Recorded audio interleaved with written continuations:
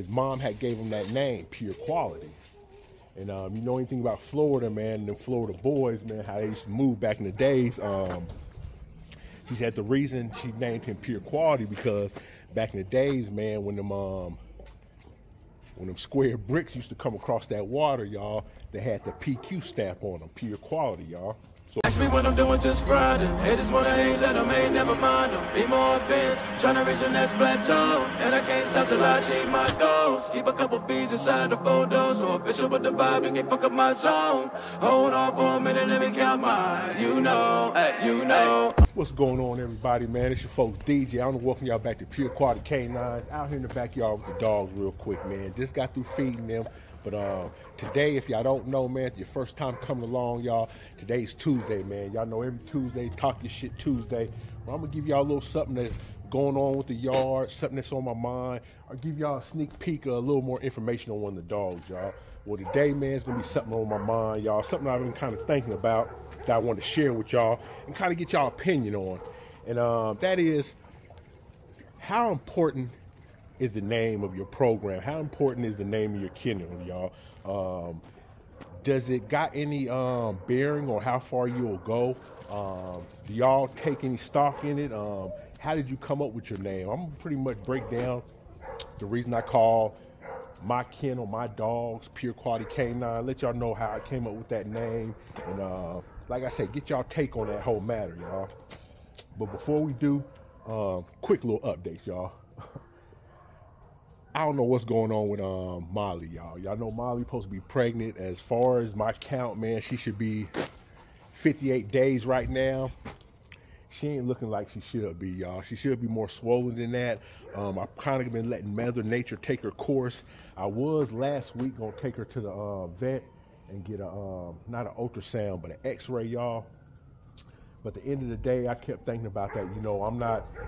This breeding right here is not you know, it's not dead set that I gotta have these puppies. Um, it's not gonna make or break me. I ain't already counted them or nothing like that, y'all. So pretty much, like I say, I'll just let Mother Nature take take her course, y'all. But um, she kind of um, almost start the other night that she was about to go in the heat, y'all. Like I say, that whole day, man, she had been digging up holes. Um, acting like she was um, kind of nesting.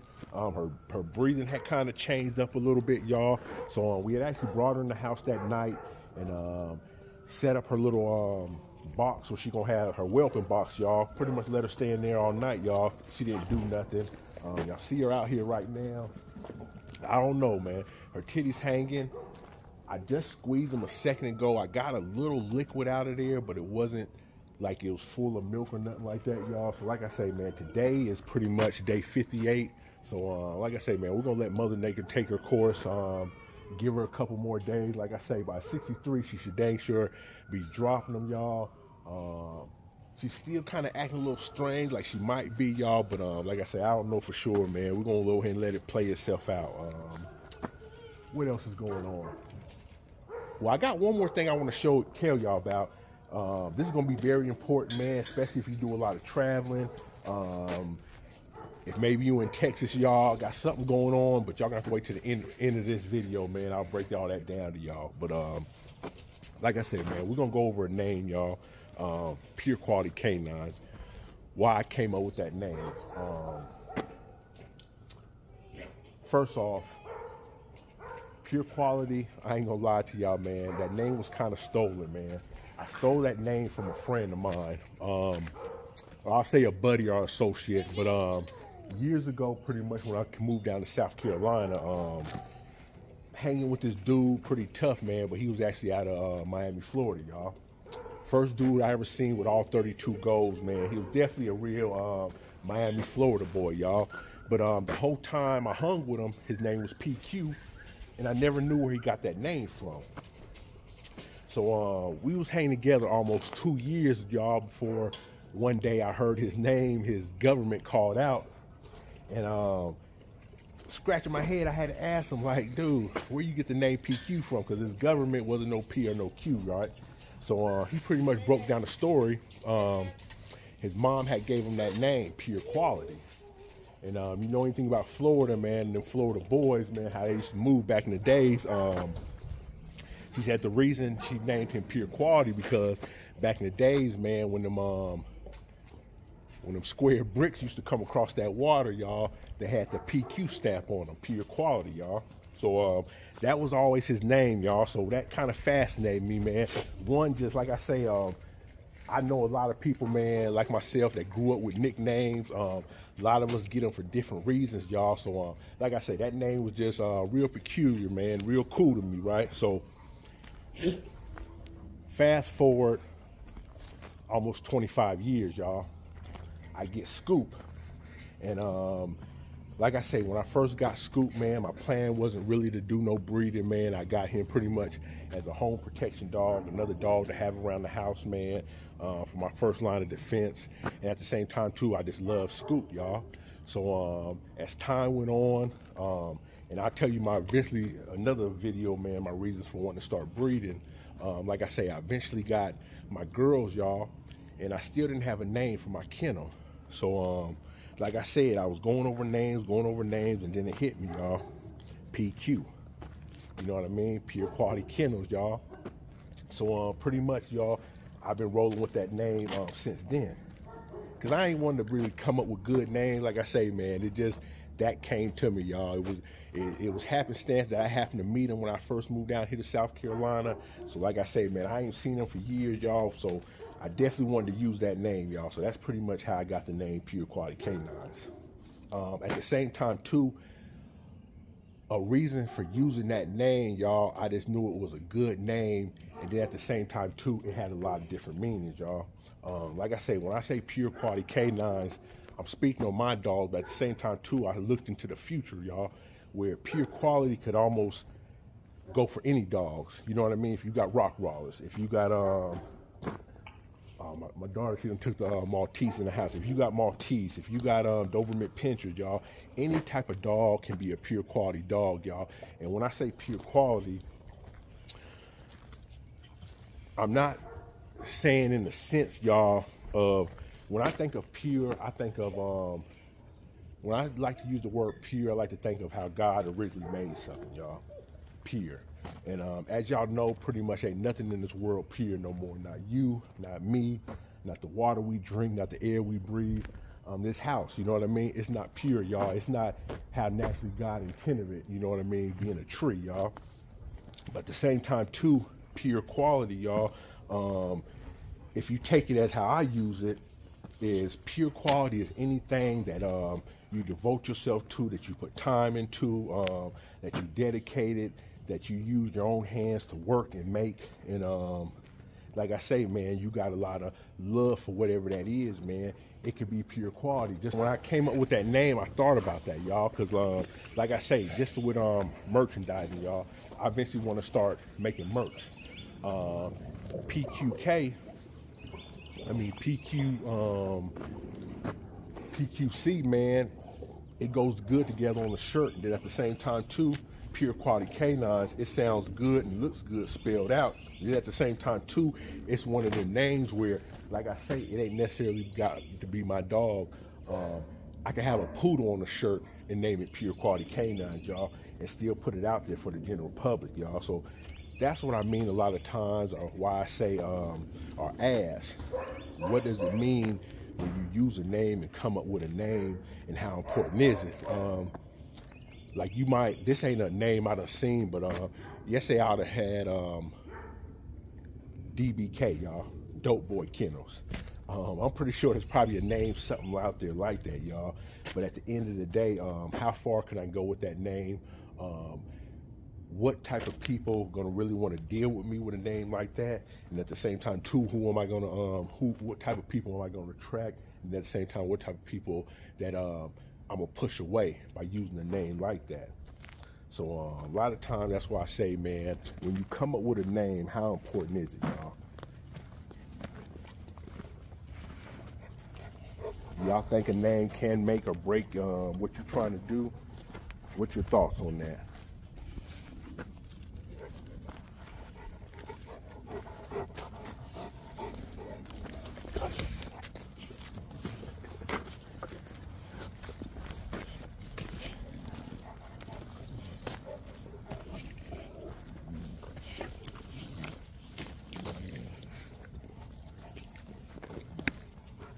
Down. And what's your real thoughts on the name, y'all? How did you come up with your name? Um, at the same time, too, man, have you thought about that in the future? You know, how far can you go with your name? You know, is this something that you can uh, merchandise? At the same time, too, have you checked, man, is your name already being used out there? You know what I mean? Because, um, like I say, I had a, a buddy of mine. Um, uh, it wasn't the name of his kennels, man, but um, one of his dogs was named Gucci, man, and um, he was gonna start making shirts, man. Um, Gucci line kennels, you know what I mean? But at the same time, too, he was gonna kind of use um, an offshoot of the clothing brand Gucci, you know what I mean? And um, I remember somebody had posted and said something about it, like, you know, be careful, you know, your name don't get copyrighted or, you know, Gucci don't come after you, know, in the future, y'all. So um, that's just what I want to say. You know what I mean? Um, what y'all really think about that? You know what I mean? Uh, again, you know how important is the name? Uh, have you thought your name through? You know what I mean? Just future wise, you know how far can you go with it? Can you merchandise it? You know what I mean? At the same time too, to make sure it ain't copyrighted or somebody ain't already using it. Know?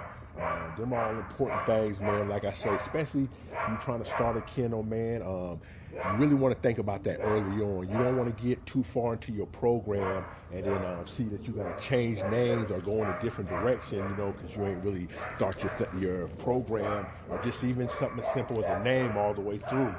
You know, I know there's some people that might use their family name, uh, all kind of different reasons, y'all. Uh, it's something to really think about, y'all. But uh, like I said, that was just something on my mind because um, I had actually made a post the other day on Facebook, and someone had said something about that. You know, how can your dogs? How can you use the name pure quality? You know what I say when I use that word pure quality, I ain't using it in the sense of pure as in how God originally intended something to be, y'all pure quality as in you know what i mean i took my time um, love dedication and uh, like i say i really care about something i do you know what i mean and like i say that can be a quality pure product like i say it's coming from me I know I'll be getting off work late, man. So when I come home, they already been running around all day. They're tired themselves off, y'all. So, so once I feed them, man, if I don't pull that camera out quick enough, man, they pretty much chill out. Uh, before I let y'all go, man, cause like I said, I got one more um, thing I want to speak to y'all about. Man, when I woke up this morning, right, um, all the dogs were out the cages. I still got to figure out how Molly and um, the puppies done escape. But um, Lucky was out his cage, y'all, and his bricks were still here. He done mess around, ate through the bottom of here, y'all, and this pretty much right here was pretty much folded in. Y'all see I done went back and and tied it up, man. Just show y'all something real quick, man. If you got these cheap kennels right here, like I say, they work. But uh, for these big dogs right here, real destructive. They will eat through something, y'all. So, um, like I say, if you got a cage like that, just a little tip, y'all. Home Depot, Lowe's, you can find this little wiring right here, y'all. Um, it's pretty much bendable. You use some wire snips, man. That's pretty much what I use to um, go ahead and close that up. But um, like I say, that's something to think about, man. If you got these wire cages, y'all, and you got these big dogs, man, um, go ahead and invest in you a roll of that real quick like, because I promise it will come in handy, man. These dogs will tear something up. Ain't that right, y'all? Before I go, y'all, uh, one quick thing I want to tell y'all about. Uh, first, man, make sure y'all hit that like, subscribe button, uh, follow along, hit that notification bell, man. Like I said, this is your first time coming through. Um, we got a lot going on. And then at the same time, too, like how I say, with that name, Pure Quality Canines, y'all. Um, I'm the type of person that love all breed of dogs, man. I'm not stuck on one type of dog. And I want to say that because um, if you look at my shorts or you see some of my old videos, um, sometimes I showcase um, bullies. Sometimes I might showcase um, or go to somebody's yard, um, show they French bulldogs. Um, a lot of people I know own them two type of dogs, y'all. So um, you will see them on time to time on my page. Um, some people got the misconception that I own uh, one of them breed of dogs. I don't, y'all. Like I say, I like them dogs. I'm fascinated by them, but I do not own them bully or French, y'all. Um, can't necessarily say that I ever will. Cause like I say, I like these bigger type dogs, these working type dogs, y'all. Um, And at the same time, too, as far as a small dog, we got our Maltese. So they pretty much take care of that. Um, with that being said, y'all, um, this weekend, if you don't know, I want to say this Saturday, the 23rd or the 24th, y'all, up in Texas, man, will be uh, Rumble in the Jungle, y'all. Uh, me, three other guys, y'all, we will be uh, riding out there, y'all, to Rumble in the Jungle. Um, two of the guys will be bringing some of their dogs to put into the show. Uh, one's a bully breeder. Um, the other one is a Frenchie breeder, y'all. So um, I don't want to give you their names right now, man. I want y'all to make sure y'all come back next week, check that video out, y'all. But um, like I say, man, if you've seen before, uh, I do go to these shows, y'all, and kind of document and record and um, make some videos, y'all, to put on the internet and show and um, showcase on my page, y'all. So um, I will be out there for Rumble in the Jungle. This is actually Rumble in the Jungle 5, y'all. As far as I've seen, as far as watching old videos on the internet and um, people talk about Rumble in the Jungle, um, I might be out of line, but I want to say Rumble Jungle is almost like the um, the Super Bowl, you know what I mean, of dog shows. You know what I mean? It's that show where pretty much everybody goes to. It's that show that um, everybody definitely want to um, have under their belt that's going there, um, taking a trophy home, y'all. So um, from what I done seen, man, there's pretty much gonna be people from all over the world, definitely all over the United States, man. So I will be in the house, y'all, for Rumble in the Jungle. I will have my camera. Um, like I say, man, if if Frenchies, if um, French bulldogs, if um, bullies, and I'm talking about when I say bullies, I mean XLs, um, standards, um, nanos, micros. If any of them are your type of dog, man, make sure y'all come back, y'all. Um, if you ever watch how pretty much I do my um, dog videos, man. I do a little bit different, man. Not like the average person, man. Um, I try to give a little bit of everybody some play and show y'all a dog that you might not normally see um, on some people's videos, y'all. Like I say, one thing about me, I don't discriminate, man. Um, I show everybody love. So, like I say, man, I'm gonna try to dang sure. I already heard that pretty much um, every booth there is already sold out. So best believe I'm pretty much gonna be trying to hit every single booth up, man. Um, get a little word from everybody. Um, at the same time, too, gonna be some major players in the dog game, y'all. So if I can um, get a little one-on-one with them, um, I will be doing that too. Cause uh, one thing about this, y'all, um, I'm gonna try to do a little bit differently, y'all. Not so much a video, y'all. Um, I hate to put it out there for someone to steal my ID, but I'm gonna kind of do almost like a documentary, y'all pretty much the ride there, um, everything them guys are going through, getting ready, preparing for the show, and then like I say, the day of the show. So, um, like I say, I'm gonna pretty much record everybody, but it will be kind of centered around um, the two breeders I'm riding out there with, y'all. So, um, like I say, man, um, video I'm trying to put together, man, is gonna be like nothing I ever seen, nothing I ever done personally. Um, it's gonna take a lot of work, y'all. Um, a lot of editing on my part, man. I'm gonna see how good I done really got um, with this camera and my editing skills, y'all. But uh, like I say, man, y'all wish me luck and then make sure, like I say, if you come back, and then at the same time too, y'all, if y'all happen to be at that show, um, holler at me, man. Talk to me. I talk back, y'all. Don't be afraid to um, say what's up, man. Don't be afraid to um, put your dog, especially if you want your dog on that camera, man. If you want to put your dog out there to the world to see as many people. Like I said, there's gonna be a lot of cameras there, man. But like I say, I'm definitely trying to give everybody some love, man. So um, don't be afraid to say what's up, y'all. But with that being said, y'all, y'all know I don't start with it, but I'm always gonna finish with it, man. Make sure y'all hitting that like, subscribe button, man. Hitting that notification bell. Come back to check us out, man. Like I say, man, we always got something going on over here, man. I ain't gonna hide nothing to y'all, man. I'm gonna give y'all what it is and what's up, man, every single time. That being said, y'all, we out.